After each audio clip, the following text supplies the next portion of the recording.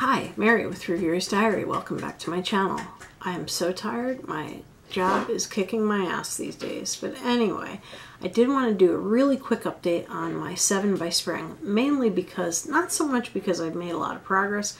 Sadly, I have not. But one of the products went bad, and so I had to replace it.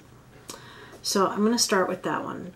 It is this BB Matte from Dr. Brandt, which is not cruelty free, but I was down to here and it just got all funny, separated kind of on me. So um, I am taking this out. I'll put it in my empties and I'll talk about it in the empties video.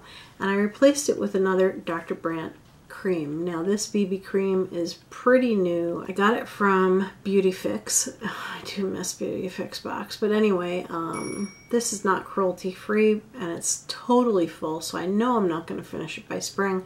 So my goal is actually going to be to just get it down to halfway. Next thing is my Photo Finish Primer Gel. Now this, you can't, it's really hard to see, but it's like down to here now. So it's, you know, you can see that it's been used quite a bit. I love this stuff. This and Laura Geller are my favorite primers. Um, so this will be gone.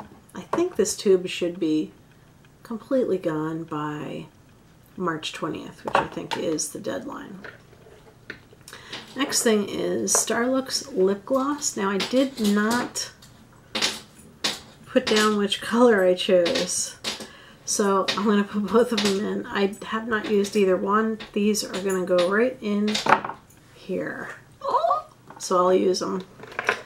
Next thing is the Balm Mini Lipstick. Yeah. And this is in Meet Matte Hughes. This is more like a lip stain. It looks really full of color and you know, it's like a liquid lipstick. It's really nice, but it's really drying.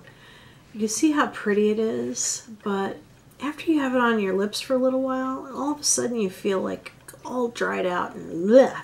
So I'm going to put a um, lip balm under it and a lip gloss on top of it if necessary. Because it's a really pretty color. I really do like it. It's like really beautiful. Next thing is the Milani Eye Primer. Well, it looks like this has got to be used up and I got to hurry up. It's pretty old. Next is this Nicka K eyeliner. I've been trying to use this for a while.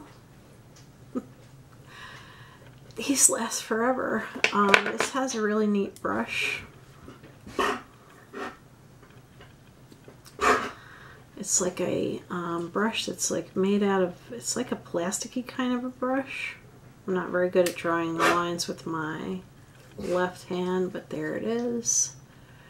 It's really pretty on, and I've gotten a lot of compliments when wearing that. Not sure if I would repurchase it though. And counting these two mascaras as one is the Estee Lauder Sumptuous Infinite Have this on and I like it so much. It's too bad you're not cruelty free, Estee Lauder. Shame on you. Um, this has a really nice, actually, let me show you the brush because you may know of a mascara that's got exactly the same kind of brush. It's not exactly a brush. It's like plastic tines. So it's almost like you're combing mascara through your eyelashes and it really gives your eyelashes a nice lift and fullness and I really like it. So if you know of a cruelty-free mascara that has a similar brush, please let me know. And this Lights um, Camera Lashes, I just haven't reached for this very much. Um, it is in my weekly makeup basket. It is next to be used up. Still smells fine. It's not that old. It's got a regular brush. I've been reaching for the Estee Lauder because I love that comb type brush. It just is what it is. And one thing I did want to mention while we're here is I got a notebook because I always have all these like little bits of paper and stuff going on and having a little bit of trouble keeping track of everything. So I did buy this notebook. So I will be putting all of my YouTube things in here. Hopefully it'll make me a more organized presenter. And once all these little pieces of paper go away, I'll be much organized anyway. So thank you for watching. This has been Mary with Reviewer's Diary with an update on my 7 by spring. Keep your fingers crossed. Maybe I'll get a bunch of this stuff done. Then again, maybe not. Thank you for watching.